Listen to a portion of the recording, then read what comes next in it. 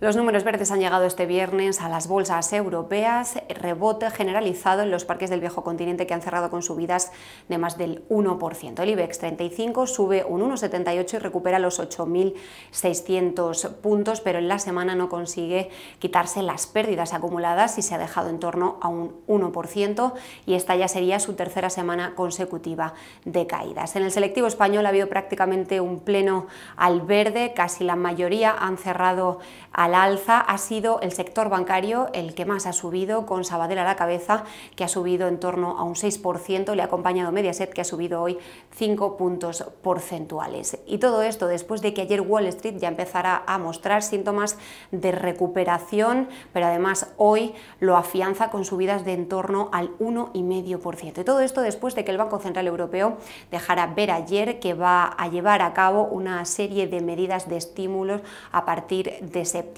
esto ha sentado bien en los mercados de renta variable y también está llegando a los mercados de materias primas, donde el barril de Bren eh, va recuperándose y se pasa también al verde, así como en el mercado de deuda, donde la rentabilidad de los bonos va también asomando el color verde. Y mientras tanto, el IBEX 35, con la subida de este viernes, ha conseguido ya salir de la zona de mínimos anuales en las que cerraba el miércoles y también empezar a cotizar en el año en positivo, ya que hasta ahora ya había entrado en terreno negativo. Pueden seguir informándose en bolsamanía.com.